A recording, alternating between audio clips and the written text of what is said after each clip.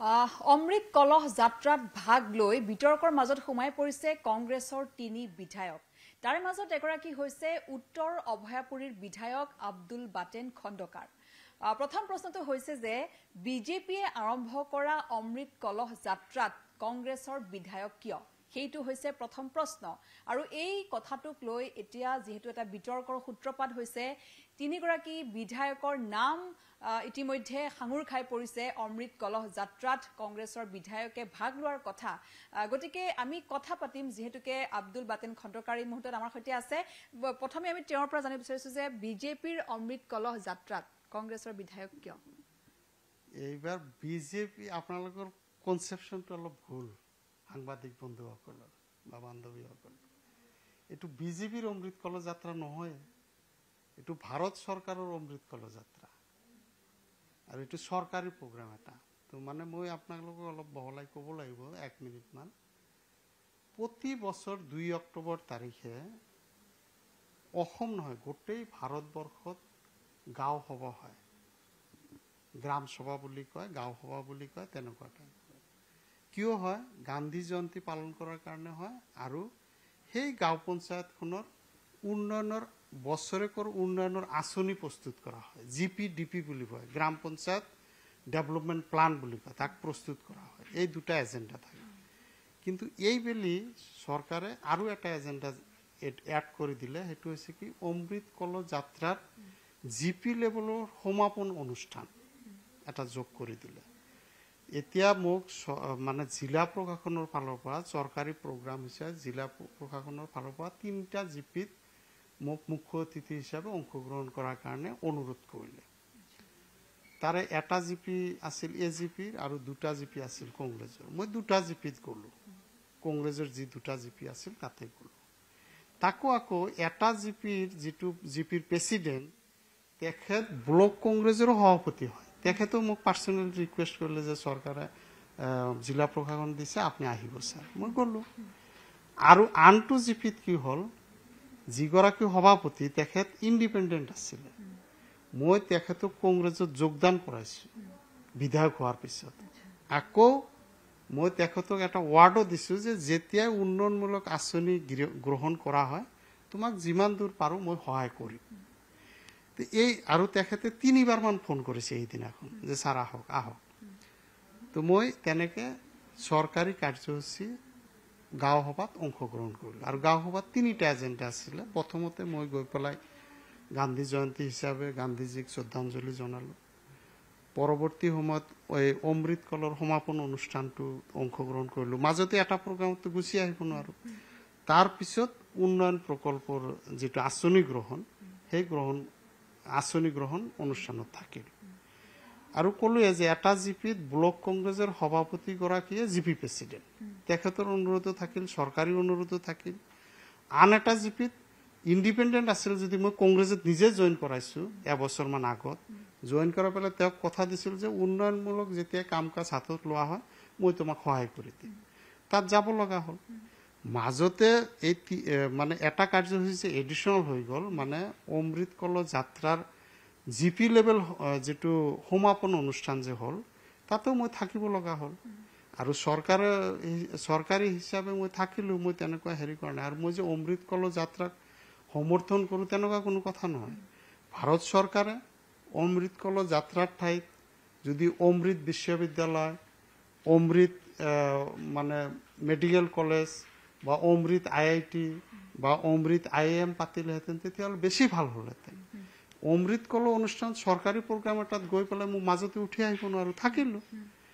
এতিয়া কিছুমান আৰু এইখিনিতে এটা কথা ইয়াত খালি মই অকল কংগ্ৰেছী নহয় সকলো জি পি প্ৰেচিডেণ্ট প্ৰায় ৰাজ্যখনত এক হাজাৰমান জি পি প্ৰেচিডেণ্ট আছে।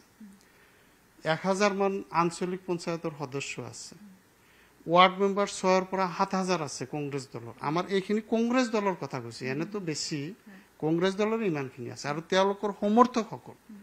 ক'বলৈ গ'লে কেইবা লাখ নিষ্ঠাৱান কংগ্ৰেছ কৰ্মীও এই অমৃত কল যাত্ৰাত অংশগ্ৰহণ কৰিছে বা অম- অমৃত কল যাত্ৰাৰ যিটো সমাপন অনুষ্ঠান তাত ভাগ লৈছে। কিয় লৈছে? এইটো চৰকাৰে তেওঁলোকৰ ওপৰত জাপি দিছে।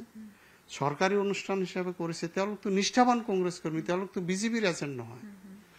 আমি তৃণমূল পৰ্যায়ৰ কংগ্ৰেছ কৰ্মীসকলো যে ইয়াত ইনভলভ হৈ গ'ল এই কথাটো আমি চাব লাগিব। ইনভলভ ইনভলভ কৰোৱা হ'ল। তেওঁলোকৰ সমৰ্থন থাকক বা নাথাকক তেওঁলোকে তেওঁলোকে চৰকাৰী কাৰ্যসূচীত অং- অংশগ্ৰহণ কৰিলে। আৰু দলীয়ভাৱে আমাক কোনো নিৰ্দেশনা আগত দিয়া হোৱা নাছিল যে আপোনালোকে এই দুই তাৰিখৰ যিটো গাঁও সভা তাত মানে আপোনালোকে অংশগ্ৰহণ নকৰিব যদিও চৰকাৰী তাত যিহেতুকে অমৃত কলহ সমাপন অনুষ্ঠানৰো এটা কাৰ্যসূচী আছে যদি দিলেহেঁতেন মই কেতিয়াও নগলোহেঁতেন দিয়া নাই গৈছো চৰকাৰী কাৰ্যসূচী হিচাপে এতিয়া আকৌ আপোনালোকক এইখিনিতে কৈয়ে দিছো এতিয়া আকৌ আঠ তাৰিখৰ কাৰণে মোৰ মোবাইলতে চিঠি পাব জিলা প্ৰশাসনে মোক অনুৰোধ কৰিছে যে ব্লক লেভেল কলযাত্ৰাত থাকিব লাগে মই নাথাকো তাৰ কাৰণ তিনি তাৰিখত যোৱা আগষ্ট এই দুই তাৰিখত এই অনুষ্ঠানটো হৈ যোৱাৰ পাছত তিনি তাৰিখত আমাৰ এ পি চি চিৰ পৰা আমাক নিৰ্দেশনা দিয়া হৈছে যে অমৃত কলযাত্ৰাত আপোনালোকে আৰু অংশগ্ৰহণ কৰিব নালাগে। তাৰমানে আগতে নিৰ্দেশনা নিদিলে কাৰণে আপোনালোকে গ'ল। পিছত যেতিয়া দুই তাৰিখে আপুনি গ'ল বিতৰ্ক হ'ল আপোনালোকে তাত অংশগ্ৰহণ কৰিছে। তাৰপিছত পিছদিনাখন এ পি চি চি ফালৰ পৰা নিৰ্দেশনা হল। অল এম এল এ সকলক নিৰ্দেশনা দিছে যে আপোনালোকে অমৃত কল যাত্ৰাত অংশগ্ৰহণ কৰিব নালাগে। নকৰো আঠ তাৰিখৰ চিঠি মোৰ লগত আছে। আজি পঠাইছে ডিষ্ট্ৰিক্ট এডমিনিষ্ট্ৰেশ্যনৰ পৰা মোৰ হোৱাটছএপত। কিন্তু মই নাযাওঁ। মই দলৰ অনুগত হয়নি। নিষ্ঠাবান কৰ্মী। আৰু মই যিমানখিনি দিনে ৰাতিয়ে দলৰ হৈ কাম কৰোঁ। আপোনাৰ বিগত ছমাহত কিছুমান মেজৰ কামো কৰিছোঁ মই দলৰ কাৰণে। এইবিলাক আমি বহলাই মই আৰু মিডিয়াত ক'বলৈ নাযাওঁ আমাৰ ইণ্টাৰনেল কিছু কথা থাকে। কিন্তু যি ধৰণে এতিয়া বিতৰ্কৰ সৃষ্টি হৈছে ভাস্কৰ বৰুৱা ৰেকিবুদ্দিন আহমেদ তাতে আপোনাৰ নাম এই তিনিগৰাকী বিধায়কৰ নাম এতিয়া যি ধৰণে আহ, নামটো লৈ এটা বিতৰ্কৰ সৃষ্টি হৈছে আৰু আজি ৰাণা গোস্বামীয়ে জিতেন্দ্ৰ সিঙলৈ পত্ৰ প্ৰেৰণ কৰিছে। আপোনালোকৰ এই কথাখিনি লিখি পেলাই। গতিকে কি ক'ব এইটো সন্দৰ্ভত? নাই এইটো ৰাণা গোস্বামী ডাঙৰীয়া আমাৰ দলৰ জ্যেষ্ঠ নেতা ৱাৰ্কিং প্ৰেচিডেণ্ট তেখেতে কি কৰে নকৰে মই সেইটোলৈ কোনো ধৰণৰ মন্তব্য নিদিওঁ। বা হাইকমাণ্ডে যদি আমাক সোধে মই সঁচা কথাখিনি ক'ম। মানে যিখিনি সঁচা এইখিনি ক'ব লাগিব। যিখিনি আপোনালোকক ক'লো এইখিনিয়ে কথা। মোৰ বেলেগ একো নাই আৰু ৰাণা গোস্বামী ডাঙৰীয়া এতিয়া কি কৰে নকৰে বেলেগ কথা। সেইটো তেখেতৰ তেখেত জ্যেষ্ঠ নেতা আমাৰ। আমি তেখেতকো মানো। কিন্তু হাইকমাণ্ডৰ ফালৰ পৰা যি আহে মই আমি স্বীকাৰ কৰি ল'ম। তেওঁলোকে যেনেকুৱা ইনষ্ট্ৰাকশ্যন দিয়ে বা যি কয় তাকে মানি ল'ম। এতিয়া এ পি চি মই ক'লো যে A P C A P C চিয়ে তিনি তাৰিখত নিৰ্দেশনা দিছে মই আঠ তাৰিখত প্ৰগ্ৰামত নাযাওঁ। আৰু আঠ তাৰিখৰ ইনভাইটেশ্যনটো আহিছে মোৰ তাতে। মই নাযাওঁ। চৌকচ নাই মইতো জনাত মই কোনো চৌকছ নটিচ পোৱা চৌকচ নাই? নাই মই পোৱা নাই। কৰিলেতো পালোহেঁতেন। এতিয়া হাইকমাণ্ডে কি সিদ্ধান্ত ল'ব বা- বিষয়টো সন্দৰ্ভত? কাৰণ যিহেতু তিনিগৰাকী বিধায়কে অংশগ্ৰহণ কৰিছে অমৃত কলহ যাত্ৰাত যিহেতু যিহেতু বিজেপি চৰকাৰেই বহুত আৰম্ভ কৰিছে সেই গোটেই প্ৰক্ৰিয়াটো।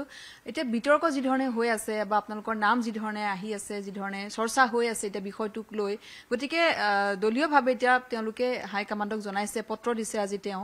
গতিকে আপুনি কি কেনেকুৱা ধৰণৰ ব্যৱস্থা ল'ব বুলি ভাবে তেওঁলোকে? নাই মই আশা কৰোঁ যে তেওঁলোকে আমাক শুনিব।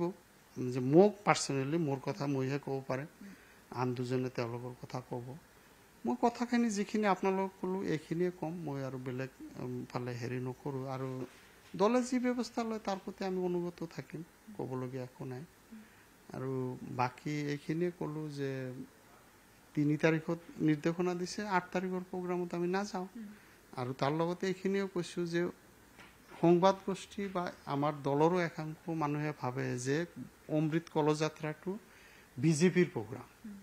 এইটো বিজেপিৰ প্ৰগ্ৰাম নহয় এইটো ভাৰত চৰকাৰৰ প্ৰগ্ৰাম চৰকাৰী প্ৰগ্ৰাম আৰু চৰকাৰী প্ৰগ্ৰাম কাৰণে জিলা প্ৰশাসনে আমাক ইনভাইট কৰে।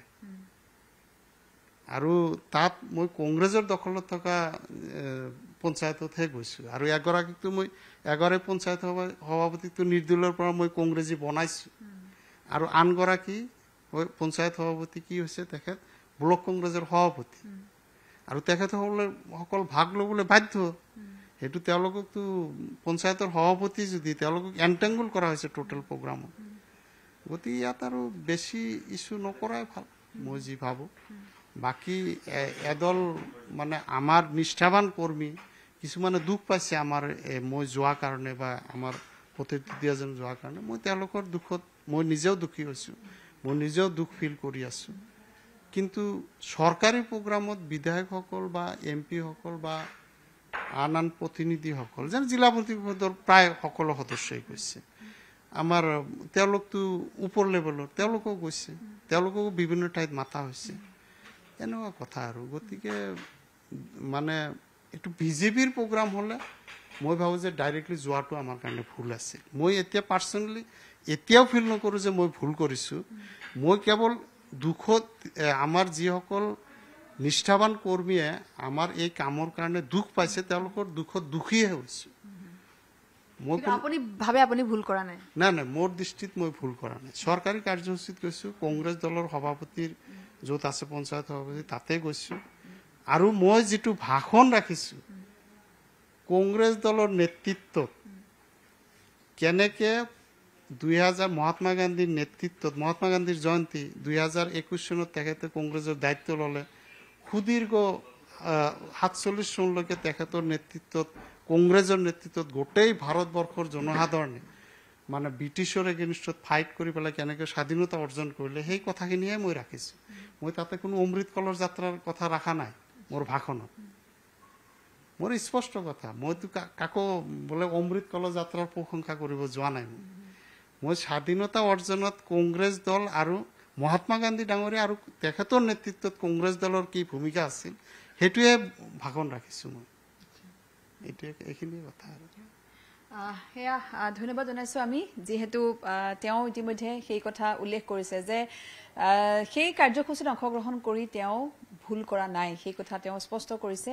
যিহেতু তেওঁ মানিছে যে সেয়া আচলতে এটা চৰকাৰী কাৰ্যসূচী হিচাপে তেওঁ অংশগ্ৰহণ কৰিছিলে। আৰু এই ঘটনাত যিসকল তেওঁৰ কংগ্ৰেছ কৰ্মী বা নেতাই যিসকলে মনত দুখ পাইছে তেওঁলোকৰ দুখত সমভাগী বুলি তেওঁ মন্তব্য কৰিছে।